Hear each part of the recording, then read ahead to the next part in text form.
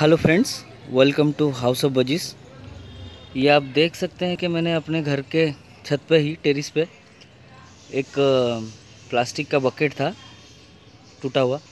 उसमें थोड़ा सा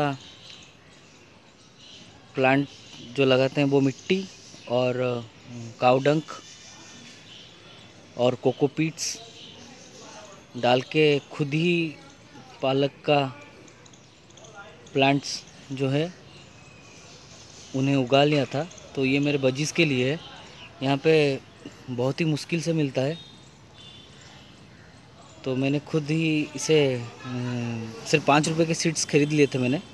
किसी भी जो प्लांट्स वगैरह बेचते हैं उनसे। और ये तकरीबन पंद्रह दिन लगे मुझे पूरी तरह से ये उगने के लिए। और भी, ये और भी ज़्यादा बड़ा होगा। तो आज संडे है। तो मैं अपने बजीज़ को पालक देता हूँ। मैंने इससे, इस, इसमें से पालक कलेक्ट कर लिया है। ये देख सकते हैं, मैंने काट के सीजर से काट के अलग कर दिया था हर पत्ते को।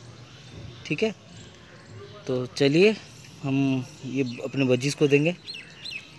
तो मैं नीचे जाता हूँ, अपने बजीज़ को वहाँ पे डाल के आपको दिखाऊँगा। ठीक है? ये आप खुद भी प्लांट बना सकते हैं, उगा सकते हैं अपने घर पे।